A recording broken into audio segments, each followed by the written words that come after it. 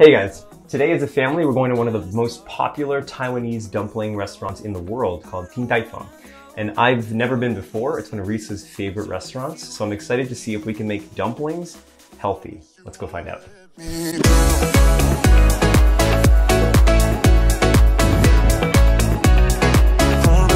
Hey guys, we just got to Tai Fung. Uh, remember, my name is Menya, just like Kenya with an M. If you haven't already, please make sure to subscribe, hit the notifications button, and give this video a thumbs up so I know that you guys liked it. Let's go check it out. Promise you won't let me.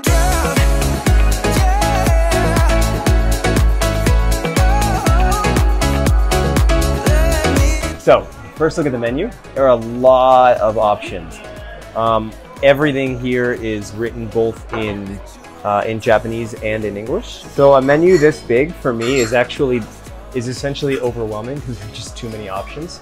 So it depends on what I'm trying to do. So if I came here and my goal was to eat reasonably well, so reasonably lean, um, the first thing I would aim for was just kind of laying down a base of vegetables. Uh, ooh. Ooh. So uh, our food just came. It looks like we have jellyfish, jellyfish, uh, kind of Shanghai style sprouts, and then chicken. And then these kind of layers are the different layers of dumplings. So right now it looks like we've got three different layers, and I'm pretty sure we're gonna get a whole bunch more, but it's um it's an exciting first start. And again, a really good spread. You, like so far, we have basically just have veggies and meat, uh, which is an awesome start. So so far so good. What do we got, buddy?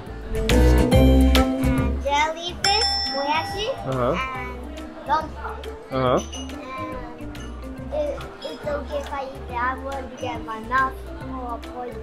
Okay. And what are you eating there? What's this?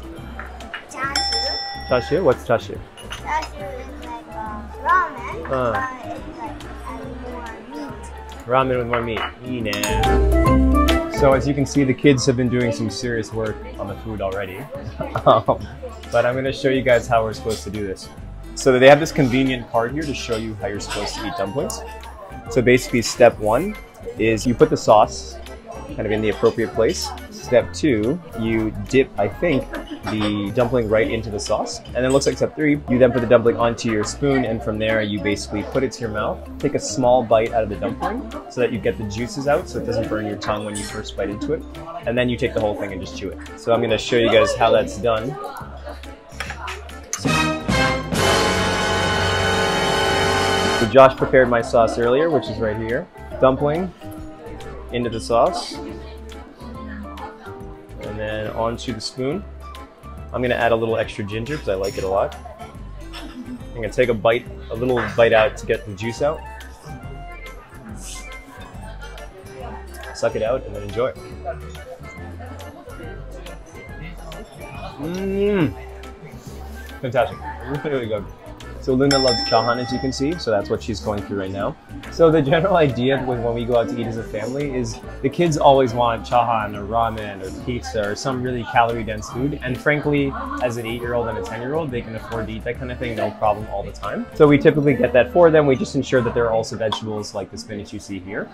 Um, but when it comes to Risa and I, we tend to focus more on the spinach, like the meat, and then obviously some dumplings. Some dumplings are okay. So kind of striking that balance for yourself is probably what's most important. So again, if you're just straight in it to win it, go the chahan kind of ramen route, that's okay. But if you're trying to focus on, again, eating a little more consciously, then you're gonna wanna focus on like the meat side and the veggie side, which is kind of what we're focusing on here.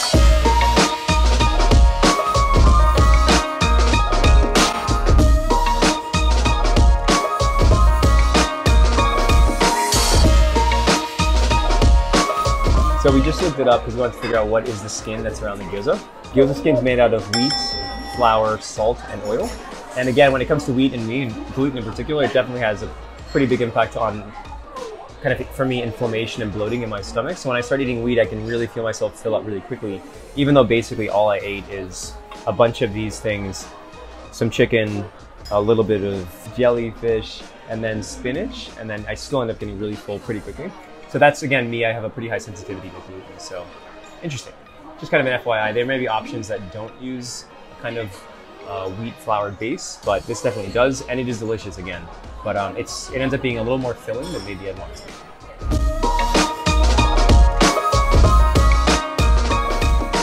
So these are uh, amai shoronpo, and they consist of sweet beans, uh, mango, and sweet potatoes. And these do not go in sauce, you just kind of eat them as is. Just make sure they're not way too hot. As you can see, Luna and Josh are struggling hard to get to get the sweetness in their mouth I'm making it. as quickly as possible. Uh, we're gonna try in a minute. I was gonna let it cool off, but I guess I'll just embarrass myself by trying to eat it as is. See what happens.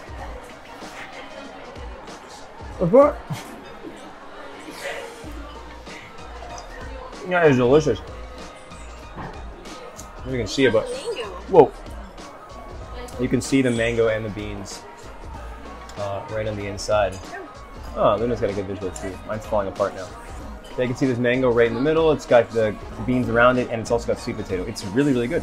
Really delicious. So this is a perfect example of why I really like Asian desserts, in particular Taiwanese, because instead of having a whole bunch of really, really highly processed stuff, they've actually just thrown in sweet beans, which are obviously all natural, um, some sweet potato, and then mango. And maybe they've heightened this with a bit of sugar. I'm assuming they've added sugar to this mix to make it as sweet as it is. But even so, it's really quite natural. Um, and that's, again, I think that's one of the perks of the way they do desserts in Asia in general, and then in particular this restaurant, which is Taiwanese. But also, you see this kind of thing across Japan, and that's one of the, one of the reasons I really end up liking uh, Japanese desserts. So probably no one's this particular except me, but as a person who doesn't actually eat any caffeine, it's worth pointing out that the tea actually does have caffeine, even if it's technically even if it's decaf. So when you go to a place like this, if you're not a caffeine drinker, I mean the tea is delicious. I'd encourage you to drink the tea, but if you're trying to stay away from caffeine or that's not your thing, just bear in mind that most teas in most restaurants will be regular caffeinated tea, and so they're obviously going to have some caffeine in it. Um, it's delicious, and I think it's part of the experience. So yeah, I think it's fine. But if it's like late night, and especially in the case of the kids, it's probably not a great idea because their bedtime's in Probably 30 minutes to an hour, and they're going to be uh, running pretty wild if they have too much of the tea. So just kind of an FYI when it comes to tea in a restaurant like this. Technically, Risa and I are going to the gym right after this, so this is not a problem, but just FYI.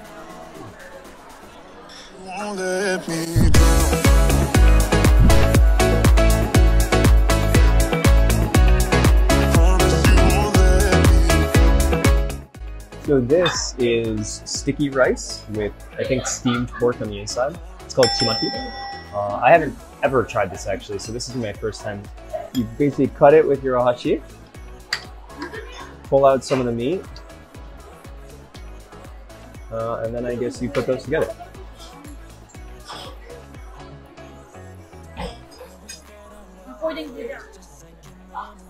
Hmm, oh shit, good.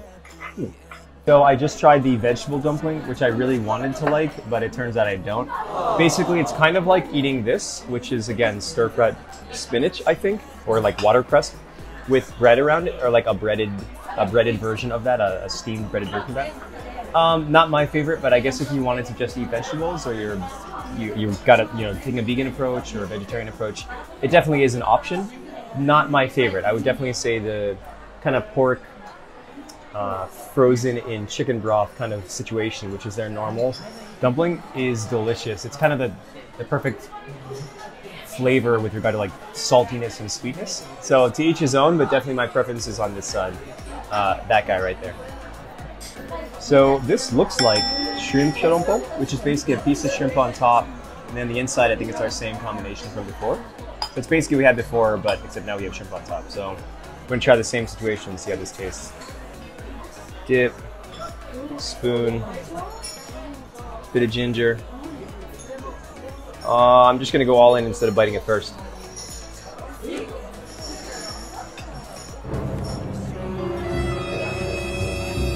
Mm. Really hot. Bite it first. Definitely bite it first. So Risa just asked me, um, how do I like it? And I realized that my answer is pretty simple. I, I love this. It tastes delicious, but um, I think I'm really personally drawn to extremely simple food, meaning like most importantly, food that doesn't typically make me feel really full, either as a result of bloating or just kind of the, the kind of food it is. So with dumplings and me personally, again, amazing. Come here and try this. It's fantastic. I'd, I'd give this like minimum four stars. If I were a real big dumpling person, I'm sure I'd give it a five because it is really, really good. I would actually love to explore a version of this where the bread that encompasses the meat is actually made from some kind of vegetable source. I don't know how that worked. I don't know if that's possible, but if that were an option, that would be really interesting to try. So if you ever leave me, promise you won't let me. All right, so we just finished the meal. I am extremely full. Uh, full. I think everyone's really, really full. Uh, we're gonna take a look at the bill. So we are at a total of we had a lot of food, but 13,191 yen, uh, which is probably like oh did I read it wrong? Oh, that's without tax. Sorry, 15,191 yen, which is basically probably 140 bucks. I want to say. Um, so all things considered, it was really, really good. And for feeding four people, I guess that breaks down to yeah, a reasonable amount of money. That's probably like four thousand yen ish, a little, a little less than 4,000, 3,500 yen uh, per person. So not too bad, but not also super cheap. But it's dinner time and it's a pretty popular restaurant, so I guess it's a pretty fair price. Again, in terms of like the macro comp for the food, not not necessarily comparable to Hiniku Shokudo, which is specifically meant to be like really lean and really healthy. So overall, the macro composition, just from looking at it, this looks pretty good. But if you're coming here and you're trying to eat pretty healthily, again, it can be done by simply keeping your base vegetables like we did with the spinach, and then you can pretty much go to town on a bunch of the dumplings. But if you wanted to go even more lean, you, you definitely can do it. They have some options on the menu that are actually strictly just meat, and then there is no kind of wheat flour bread covering. So that's also an option.